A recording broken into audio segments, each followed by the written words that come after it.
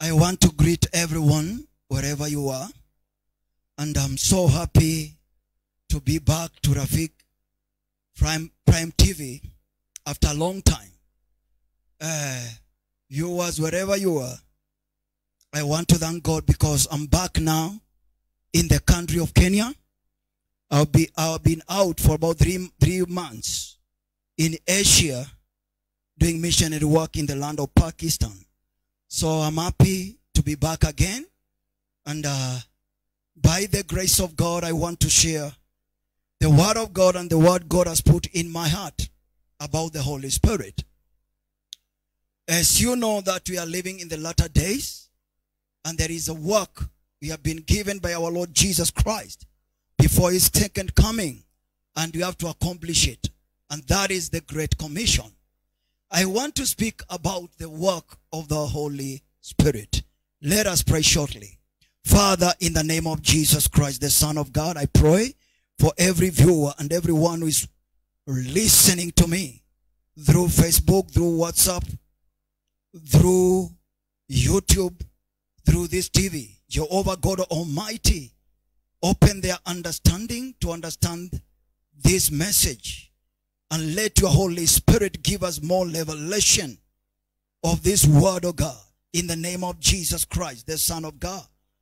As I speak this word, Father, I want to hear from you and speak only what is from you, Jehovah God. Holy Spirit of God, take control over this service now in the name of Jesus. We want to honor you and to bless your name, O God, in Jesus' name. Amen. Now, brethren, I want you to open with me in the book of uh, Acts of the Apostles, the book of Acts. The book of Acts chapter 1. I want to read verse 7 and verse 8.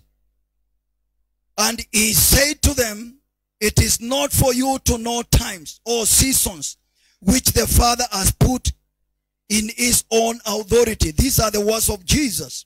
Verse 8 says, But you shall receive power when the Holy Spirit has come upon you, and you shall be my witness, witnesses to me in Jerusalem and in all Judea and Samaria and to the end of the world, of the earth. Amen. Acts chapter 1, verses 7 and verse 8.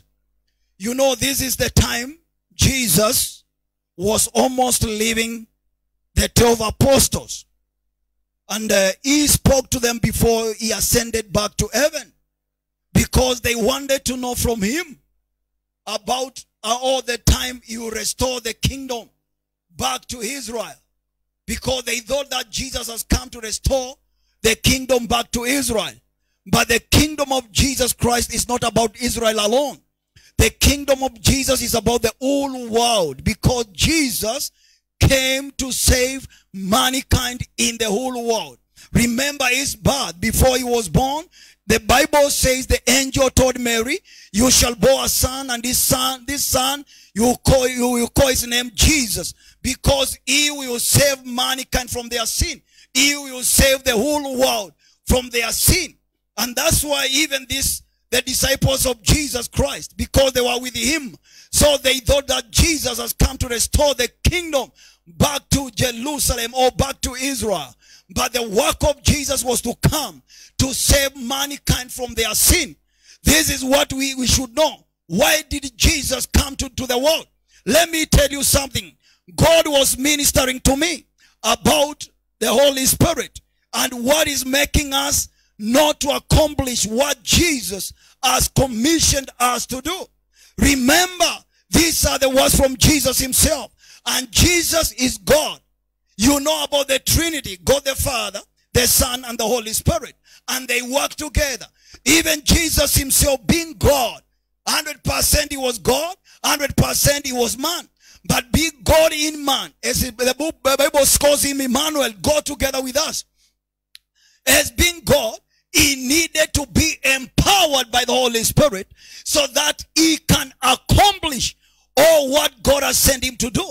That is what the Bible says in book, the book of the same book chapter, the book, book of Acts chapter 10 verse 38, when Peter was speaking to the, to the house of Cornelius, he told Cornelius and the people were listening to him how God anointed Jesus Christ of Nazareth with the Holy Spirit and with power. And Jesus went about doing good, healing the sick, setting the people free, and those who are being oppressed by the devil, for God was with him. So please, my brothers and my sisters, or the church of Jesus Christ, wherever you are listening to me now, let us go together and listen to what the Spirit of God is telling the church. Because the, now, what we need is the guidance of the Holy Spirit. And this is the time Jesus, when they ask him the question, what is this the time now to restore back the kingdom to, Israel? Jesus told them, now listen to me. It is not your time. This is not your time to know what God has put in his on the authority. But he told them, you shall receive power because he wanted to give them a message. It is not about Israel alone. It is not about restoring the kingdom of God in Israel alone. But he told them, you shall receive power when the Holy Spirit comes upon you and you shall be my witnesses. Listen to this. You shall be my witnesses. You shall make the disciples for me. You shall go to all nations and preach the gospel. But you have to begin from Jerusalem. Then you go to Judea. Then to Samaria. And you go to the whole world. Why did Jesus speak this? Because his kingdom is about the whole world. He came and died on the cross for the sin of the whole world. And brethren, listen to this. Jesus said, you shall receive power when the Holy Spirit comes upon you. That shows that the work of the Holy Spirit being God himself. The Holy Spirit is God himself. I want you to know this. The Holy Ghost is God himself. Remember Jesus after he was baptized by John in River Jordan. The Bible speaks that the Holy Spirit came upon him in the form of a dove. And when he rested upon him, look at the Trinity in River Jordan. Then the voice came from heaven. The voice of God the Father saying, this is my beloved son. Oh, hallelujah. Hear him and obey him. Hallelujah. Though the Trinity was seen in River Jordan. Why? And from there, the Bible says Jesus went back to Galilee full of the Holy Spirit. Hallelujah. So he was anointed by God, by the Holy Spirit, so that he can accomplish all what God has sent him to come to the world to do, to save me and to save you, to die on the cross and go and be buried. And on that day he raises again from the dead. He could not do, a, he could not accomplish this without being anointed, without being empowered by the Holy Spirit. And if Jesus being God, he had to be empowered by the Holy Spirit. He needed the Holy Spirit to, he needed the Holy Spirit to accomplish what God has sent him to do. Who are we not to surrender totally to the guidance of the Holy Spirit? My brethren, wherever you are, wherever you are, listen to me. The Lord has put a message in my heart to tell the church now. It is the time, the church to embrace the Holy Spirit, the church to surrender totally to the guidance of the Holy Spirit because without Him, we cannot accomplish what we have been called to do by God. We have been doing our own things without the guidance of the Holy Spirit. We have been doing our own on our own things, our own things. We can say, I can say our own things without seeking the guidance of the Holy Spirit. And the time has come, brethren, and unless the church we go back to where Jesus began, or to where the church began, in the book of Acts of the Apostles, look at what this apostle did. Although the apostles, they were with Jesus. They saw Jesus doing miracles. They saw Jesus raising the dead. When Jesus went back to heaven, they remembered Jesus told us not to go to preaching now, but we should go back to Jerusalem and wait for the promise from the Father. And that is the Holy Spirit. And Jesus, he told them, when he shall come upon you, you shall receive power and then you shall be my witnesses, beginning from Jerusalem, Judea, Samaria, and uttermost parts of the world. These people, they had experience of three and a half years being with Jesus. They listened to Jesus. They had the best pastor. Every night they were with him. Jesus could work miracles with him. Jesus could talk with him. When he talks, with the parables to other people. He could sit down with them and begin to explain to them and telling them to you this mystery of the kingdom uh, must be revealed to you because you have been privileged to be with me. And even he told them some some of the prophets, all the prophets who came before you, they desire to be or to see such a time you are seeing because they were with Jesus himself. But listen to me, my brother and my sister, wherever you are. These people, although they were with Jesus, they did not they did not say, let us go and preach. We were with him. Peter become our leader.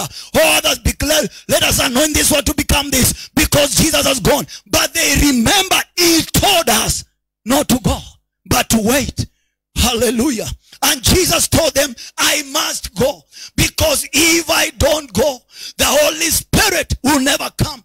I want to show you how important is the Holy Spirit because Jesus said, if I don't come, he must not come. And he will not come. That shows there is a dispensation of Jesus and the dispensation of the Holy Spirit. For the Holy Spirit, with the work of the Holy Spirit, the Jesus said the work of the Holy Spirit is to take what belongs to him, is to remind us all what Jesus has taught us, and is to take all what belongs to Christ and declare it to us. It is the work of Jesus to save us from our from our sins. He is the one who died on the cross. He is the one who shed his precious blood. He is the one who rose from the dead. He is the one who lives forever. So the work of the Holy Spirit is to confirm all what Jesus did on the cross. And the work of the Holy Spirit is to take the words of Jesus and declare them to us. Listen to me, I can give you a good example. If you are sick, the work of the Holy Spirit is to remind you about the stripes of Jesus Christ, how he was beaten, how he was bruised for your healing. And then he declares to you that if you believe this word of Jesus, for that he was bruised, he was beaten, he was wounded for your healing.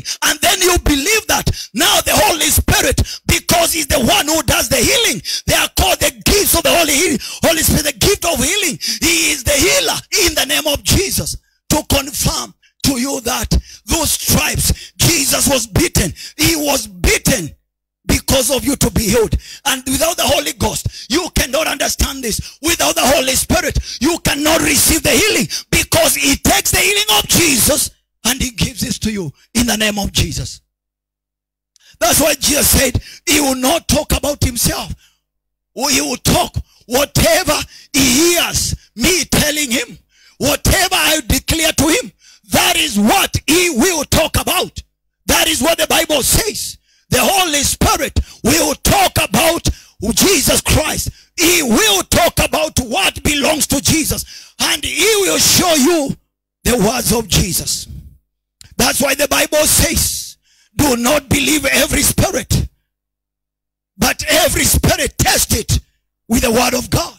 Because every spirit which will not point to what Christ Jesus did on the cross, to what Jesus did for you, that is not the spirit of God.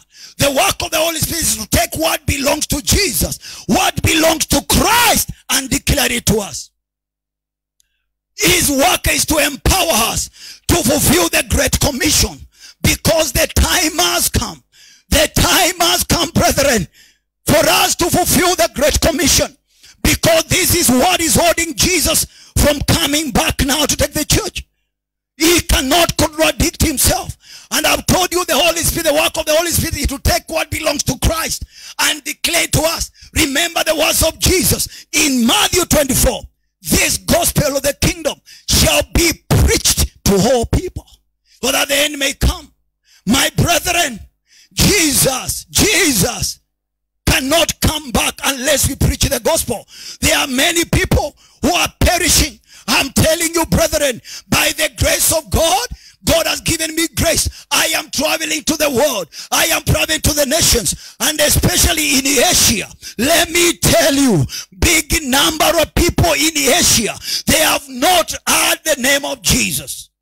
I've been preaching in Nepal. Nepal, many people, they don't know the name of Jesus. I've been preaching in Pakistan. I've been preaching in Malaysia. Many people, they have never heard the name of Jesus Christ. And then, brethren, the work of the Holy Spirit to empower us so that we can reach those people with the good news of the kingdom of God.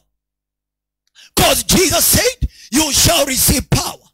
My brethren, look at the world, how the world is today. Brethren, whatever is happening in the world, it did not, it just did not happen. Even God himself, he knows about it. But it is the work of the church, the body of Jesus Christ, to arise now and embrace the Holy Spirit and surrender totally to the guidance of the Holy Spirit so that we may fulfill the Great Commission. Look at the apostles when the Holy Ghost came upon them. That is the time they received the power. People who could fear like Peter. People who scattered when they saw Jesus was arrested. After they were anointed. After they received the Holy Spirit. That time now they became bold, courageously and preached Christ boldly without fear. What amazes me is when a persecution arose from arose in Jerusalem. They were began to persecute. They were they were persecuted. After Stephen was stoned, Paul began to arrest them. No, so he began to arrest them. He began to put them in prison. And they scattered. The Bible says they scattered. They scattered. Only the apostles who are left in Jerusalem. But what amazes me, some people whom we don't hear very well, being mentioned, like Philip, they went to Samaria because the Bible says those who were scattered, they preached the word. They were not they did not sleep, neither they did not sit down because of persecution. Now there is a big threat in the world. We have sickness like coronavirus. It's like a persecution whereby we are not allowed to go to different countries. Some countries are still in the in lockdown up to today. Some countries they have, they have given conditions. But let me tell you, my brother and my sister, a servant of God wherever we are, we are not supposed to be put down by whatever is happening happening in the world today. We are supposed to arise. Even if there's this persecution, we should arise. Brethren, sometimes we quote things and we speak things which are not relevant at all at all. Messiah, I sometimes we hear preachers, we say ourselves, don't go where you are not celebrated. Let me tell you something, my brother and my sister, preaching the gospel of Jesus Christ, it is not about to be celebrated because this gospel, this gospel, not many people now like it. You must go even where people, they don't celebrate you. You must go even to the people persecute you. Don't say that. If you are not celebrated, don't go there. That is a long doctrine. That is a total long doctrine. Let me tell you, Jesus himself said, in this world, you will have tribulation. But cheer up. I overcame the world. I thank the Lord because he overcame for us. Wherever we go, no matter the persecution, no matter the challenges, I am telling you, Christ Jesus is with us by the power of the Holy Spirit. Philip, hallelujah. Even if they were persecuted, when he went to the city of Samaria, the Bible says he preached Christ and signs and wonders, miracles were done, great healing, lame were walking, dumb were talking. He was doing greater miracles. And many people believed in Philip. And the gospel of Jesus Christ was preaching to them until the sorcerer called Simon, whom people, they knew that he is using the power of God. And this is what is happening in the church today. We have so many sorcerers in the church in the name of the Lord. And people, they are thinking that they are being used by God. That is why I'm telling you, brethren, test every spirit. Test whatever you hear. Test. Because the Holy Spirit will take only what belongs to God and declare it to you. Anything out of what belongs to Jesus it is not from the Holy Spirit. Even if people they say this is the Holy Spirit, please differentiate between the spirit of divination and the Holy Spirit of God. Because the Holy Spirit will tell you what, uh, what Christ did for you. You will not take something else to replace Christ. Nothing like that. The Holy Spirit will tell you this one thing. You don't need to give a seed for your healing. You don't need to give a seed for your healing. Because the words of Jesus, by his stripes you are healed. And freely you've been given, freely give. The healing of Christ is free. Sorcerer, when he became born again, because he was not mature in the spirit, when he saw Peter laying the hands on the people and they received the Holy Spirit, he gave them money. Give me this spirit also. And this is what we are teaching many people in the church today. Give money so that you can receive the grace I've gotten from. I have. Give me money so that you can receive this anointing. You are making people to be like this sorcerer Simon. But Peter looked at him and he told him, perish with your money. Why? You think the gift of God is bought with money? But Peter, because he loved him, he told him, I know your word is too, your heart is too wicked. But listen to me, so repent. He told him to repent. And I thank God for this, for this man, Simon. He told Peter, pray, pray for me so that every word you have spoken to me may not happen to me. And I believe, even if it is not written, Peter prayed for him because Peter was taught about love of Jesus Christ. He was taught, he knew about Jesus. He knew the love Jesus has for the church. Brethren, let us embrace the Holy Spirit. And Philip did great miracles because of the Holy Spirit. Even the Holy Spirit led him to meet the Ethiopian eunuch. And he saw the scriptures he was reading. He could not understand because it is not easy to understand the scriptures because they are spiritually, spiritually designed. And unless you are born of the Spirit, it is difficult to understand the Bible. It is difficult to understand the word of God. This man could not understand. But Philip was full of the Holy Spirit. When he saw the book he was reading, he understood very well. This man who was taken away from people, this man is Jesus Christ. And he told him about Jesus. And when he told us, uh, the Ethiopian eunuch about Jesus, the man believed in Jesus. The man was coming from Jerusalem to worship, but to worship what he did not know. But when he met Philip, a man full of the Holy Spirit, he understood who Jesus is, the Savior of the world. Because there is no other name given to mankind to be saved by. Only the name of the Lord Jesus Christ, the Son of God. Jesus is the way. He is the truth. And he is the, the life. No one can go to the Father except by him and the work of the Holy Spirit. He is the one who convicts the world of sin. Hallelujah. His work is to convict the world of, sin.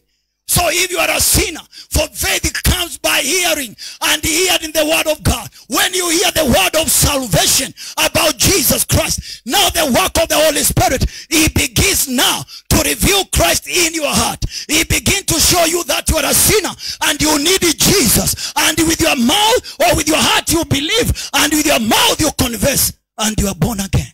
This is the work of the Holy Spirit. And unless we understand and we embrace him and we leave all other things we've been doing and surrender totally because we have been promised the glory of the latter church shall be more than the former. When we surrender totally to him, we shall, we shall see Jesus in work. I'm telling you, I told you two weeks back, I just come from Pakistan. I have done over 70 meetings in the land of Pakistan since from 24th of June up to, to 18th of September. I've been preaching daily in the land of Pakistan. And let me tell you, brethren, when God gave me this message and God told me surrender totally, I have seen great miracles. I'm telling you, great, great miracles. I have come to realize that Jesus Christ who used Peter to heal the sick people with his shadow is with us now. I was passing by. My shadow when it touches people, others were healed from tuberculosis of the intestines. Others were healed from cancer. I have seen great miracles. Brethren, the Holy Spirit is ready to confirm the word of Jesus Christ. Provided we preach the truth of the gospel. Provided we preach Christ in truth. We preach true doctrine of Jesus Christ. The Holy Spirit is there to stamp it. And miracles, signs, and wonders shall follow. And many people, many people will believe in Jesus Christ. Like you know the, the story of Nicodemus. Nicodemus, when he saw what Jesus was doing, because he was anointed, he was empowered by the Holy Spirit. He came to him at night. He was a teacher of the law. He knew everything. Let us forget our, our names. You know, we are so much in names. Dr. William. Yes, I'm a doctor. That is good. But that doctrine does not add an anointing in me. Hallelujah. What can add anointing in me is to, to surrender totally to the guidance of the Holy Spirit and seek the face of God and pray. We don't get anointing because of the certificates. We got the anointing after we surrender totally to the guidance of the Holy Spirit. Jesus was not a doctor. Jesus was not that big man. He was a man from a village. He from Galilee. No one knew him. He was a son of a carpenter. But because he had the Holy Spirit, he did great works and mighty works which no man has ever done in this world. A man who has never been to any class. His wisdom was above from above. And this wisdom was the wisdom of the Holy Spirit. You know the gift of the Holy Spirit. First gift, the one, the first one is the gift of wisdom. Jesus was full of wisdom because of the Holy Spirit.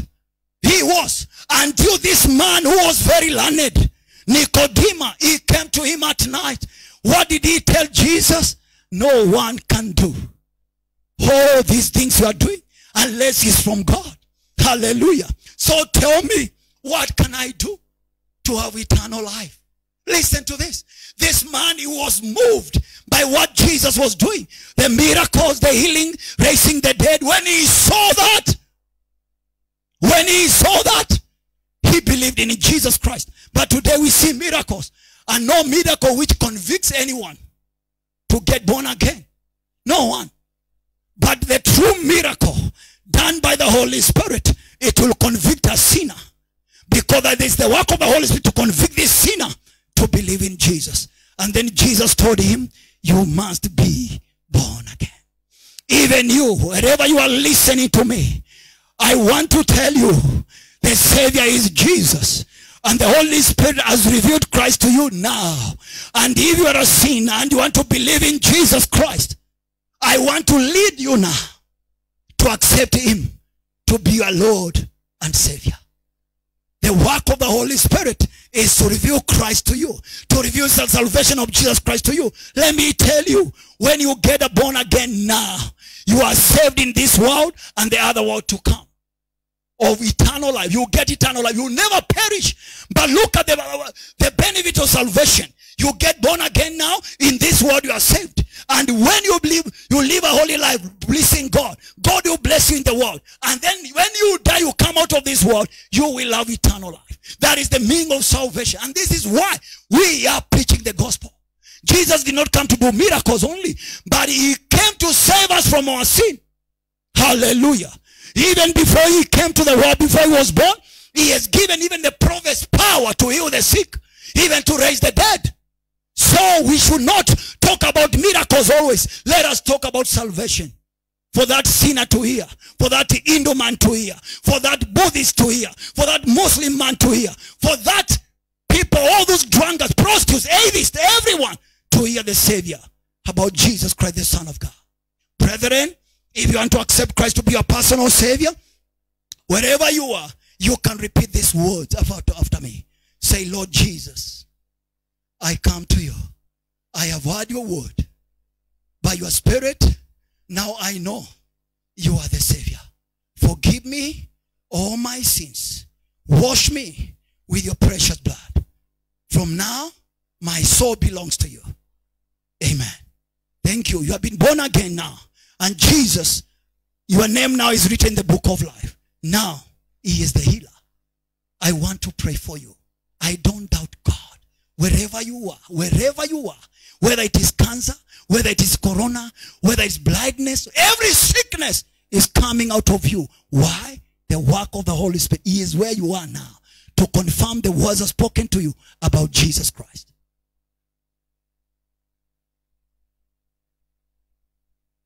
Father, in the mighty name of Jesus Christ, the Son of the living God, I commit this viewer into your holy able hands. Father, they have heard your word. And look, the work of the Holy Spirit is to take that belongs to Christ and declares to us. Now, Father, I declare healing in their bodies now. I command every sickness, command every disease out of their bodies now in the name of Jesus Christ, the Son of God. Cancer go, tumors go, sugar diabetes go, coronavirus go. In the name of Jesus, every sickness in your body be healed now in Jesus' name. I command all the sicknesses in your body to go in the name of Jesus. Even the blind, I command them to see, the deaf to hear, the dumb to talk. In the name of Jesus Christ, the Son of God. Be thou healed from now and suffer no more in Jesus' name. Amen.